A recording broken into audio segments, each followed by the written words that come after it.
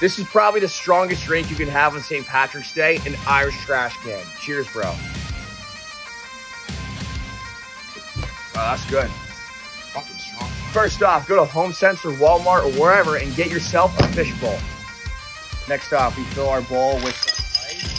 Don't spill any. And a little more just because.